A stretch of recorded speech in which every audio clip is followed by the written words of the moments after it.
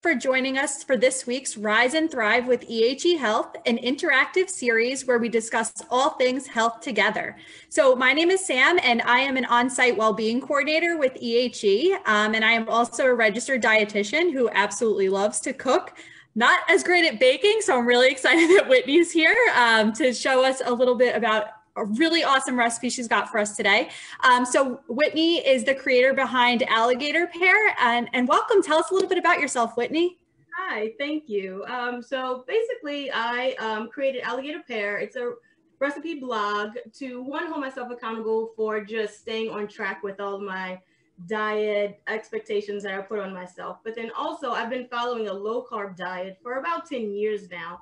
And then a few years ago got diagnosed as being gluten free. So I was like, oh, great, that'll be easy because I don't eat bread. But I, then I quickly found out that a lot of things that are low carb are not gluten free.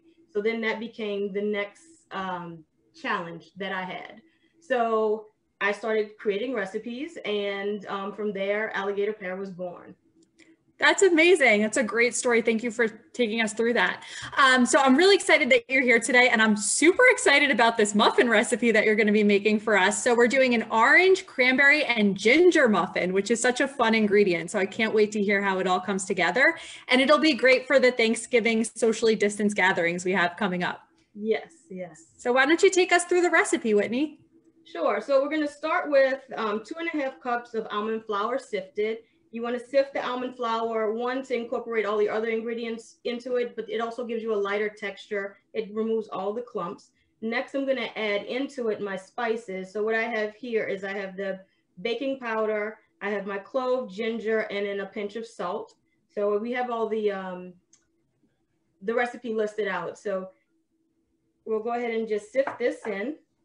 Those spices. Also, we'll go ahead and sift in. What I'd like to do is um, do a mixture of, I'll talk about the, um, while I'm doing the spices, I'll talk about a mixture of the sweeteners because a lot of people who are on a low carb diet like to use erythritol when they cook, but it gives a cooling effect to the tongue. And then I also, um, I'm not particular about giving it, letting my daughter eat it. She wants to try everything that I cook. So I like to keep everything focused um, as less processed food and more all natural as I can. So what I do is I have a, I have half coconut palm sugar and then half erythritol. And I think that this gives a better taste as well. I love, Sorry, Whitney. I was just going to say, I love that you do that because, you know, being a registered dietitian, I'm always talking about how to reduce added sugar intake. And, you know, the sugar alcohol, which is erythritol, is a um, non nutritive sweetener, but we don't want to have too much of either one. So I love that you split them and you were able to build a recipe around that. Um, and erythritol is actually one of the better tolerated sugar alcohols as well. So that's why we see it in a lot of our products and yeah. it works well in baking, right? yes, yes. And so now what I'm doing is I am um, going to combine my wet ingredients. So I did all of my dry and now I'm going to do my wet. So I have three room temperature eggs and I'm adding it to melted butter. I'm using a third of a cup of melted butter. You could substitute coconut oil here, but I like the flavor that butter gives. And then I also feel that the coconut oil is a little too runny and it gives a little bit of an oilier um, finished product. So I prefer to do um, butter um, but if you need to use a different type of butter, whether it be vegan or anything else, you can go ahead and substitute that in and see how that works. I'm also gonna add, I'm using a dairy-free milk. This is a creamer, which is coconut milk and almond milk combined, blend, blended. And it's like a half and half alternative. So I'm gonna lightly go ahead and beat this, whisk this up and also add my vanilla in. And then this recipe comes together pretty quickly. So literally it's mixing your dry, your wet, and then you combine everything together. So I do like that and it is easy with kids. So I'm gonna go ahead and add my wet ingredients in. Uh, so Whitney, we have a question. Um, what's the benefit of having some ingredients be room temperature before mixing? Um, so the reason why I do the eggs at room temperature and the milk at room temperature is because I did melt the butter. And then also if you're using a coconut oil, it will solidify back up if you add cold um, ingredients to it. So I would want to keep it liquidy and then it also just comes together really well when you start to blend. And then, like I said, this comes together very, very quickly. And then once you start to get fully incorporated with the liquids, then that's when I like to add in the, I have a tablespoon of ground ginger and a tablespoon of orange zest. And so I'm gonna just break that up just a little bit just to get it to blend in easy. I love the flavor that orange zest brings, especially to a recipe like this. That's oh, amazing. Yeah. yes, and then it also it, it just gives all of those fall vibes. Yes, yes. Those spices you added in, a couple of my favorites in there. Yes, especially combined with that ginger, it's just just orange and ginger together is a masterpiece. Absolutely. Okay, so, so now I have it fully incorporated. So I'm just going to go ahead and put in my cranberries. These I use dried cranberries, but you can use fresh or frozen. I like the dried cranberries because they are shelf stable and so I don't have to run out. I just use what I have because I use I like to use a little bit of them when I do like a chia seed pudding or things like that as a topping. I did reserve about one tablespoon, two tablespoons just to finish them off to make them look pretty. But we're going to fold those in. And that's it. This batter is ready for the oven. So what we're gonna do now is I like 10, you can put, you can do 12, but I like to do 10 um, cupcakes because I think it gives you a higher rise and a nice fuller cupcake. It won't be kind of like little sad in the cup. so, and I do, I have a one ounce scoop and it's about three um, scoops in each one. So I'll go ahead and just scoop out the batter. And then you, what you'll do after you get them all scooped out is, um, you, oh, I should have said that you have to preheat your oven for 300 to 350 degrees. Um, so go ahead and preheat your oven while you start mixing everything.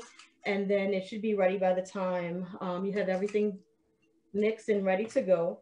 And then what I like to do is finish it off with a little crystallized ginger. And you can find a bag of crystallized ginger anywhere in the store. Um, stores like Walmart has it, Trader Joe's has it. It's pretty easy to find these days. I've even seen it in Marshall's. Um, so it's, it's pretty easy to find. So I like the crystallized ginger just because um, it gives a nice little crispy, sugary texture. Um, it, it does have a little bit of sugar in it the way it is made. However, it's, it's minimal, so it's not enough to really um, do a large sugar spike or anything like that. It's literally literally for taste. So you can, um, if you are concerned about anything like spiking your sugar or um, the sugar content, you can go ahead and admit omit that if if that is something that you're kind of on the fence about. And then I like to go ahead and just take the reconstituted, or did I say that? I um, boil these in a, just for a few minutes. I boil the, boil the water first, then I take it off the heat and then throw in the dried cranberries, swirl them around just a minute or two. Um, if you don't want to soak them too long because it'll take out a lot of the flavor. But what that will do is um, remove some of the sugar and then it'll plump them up and make them almost like fresh. I've never done that before. That is such a great tip. I love that. Yes, you can even add orange zest and some fresh ginger into that water um, just to kind of infuse a little bit more flavor into the cranberries, if you like. So yeah, this just gives it, this is just a little cherry on top, almost literally, to put um, the cranberries topping. And then the last thing is the crystallized ginger. So I just chopped it up really finely. I don't know if you can see that. And then just sprinkle it on top, almost like a streusel but it's just crystallized ginger and it is a wonderful little pop on top of the uh, muffins. Perfect. And these are ready for the oven. And I mean, these are beautiful just like this before you even bake them. They are, I could see. Even though it's a little far away, I could see how gorgeous they are and festive. Yeah, beautiful. And so they're ready for the oven and there you go. That's, you're gonna bake them for 25 minutes um, until they're golden brown. They will lift, rise a little bit, golden brown, and then what you want to do is insert a toothpick. When it comes out clean, they're ready. Perfect.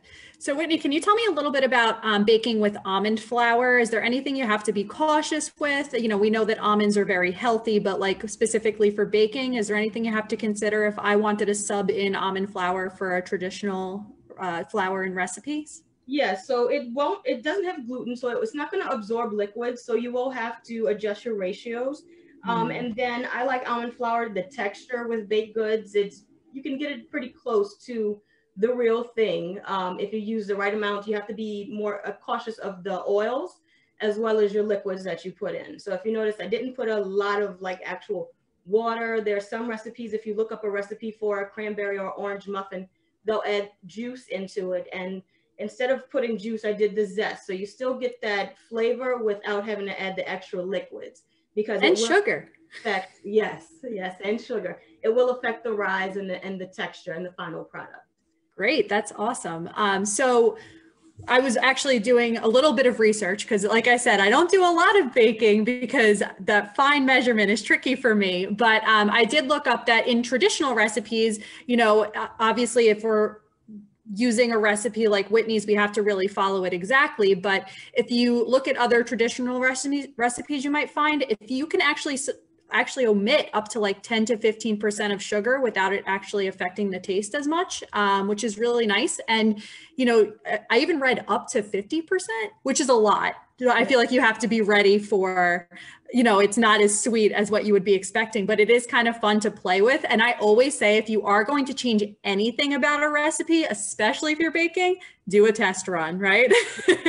Because you never know how it's going to come out. Um, and what I also love about something like this is it's such a simple and safe recipe to allow the kids to come into the kitchen as well.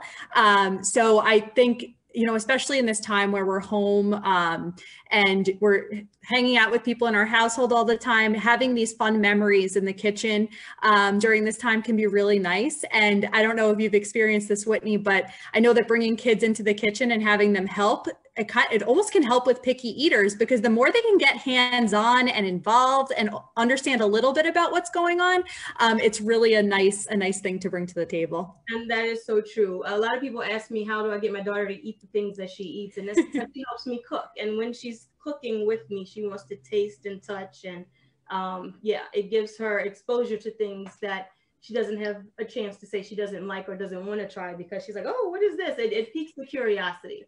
So Absolutely. I agree with that.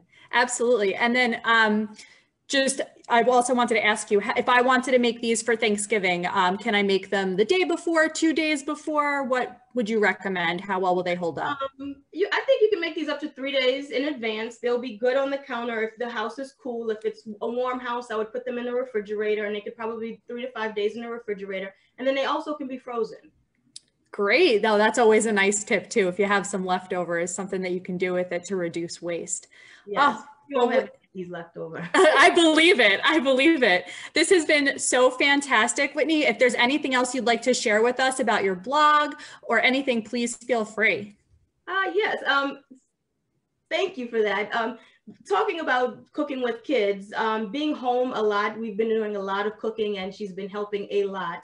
Um, so what we've done, my daughter and I, is we have a, we've, we've launched a, a, some products um, called the Little Junior Cooking with Alligator Pear Edition. So I have a full set of utensils. You get the apron, um, and then I also have a chopping uh, set where it comes with three knives and I have some videos. So if you would subscribe to or like follow me on Instagram and we, I do have a YouTube channel, you can subscribe there. I'll be posting videos soon of we cooked ratatouille, um, we baked these muffins. So I have videos coming.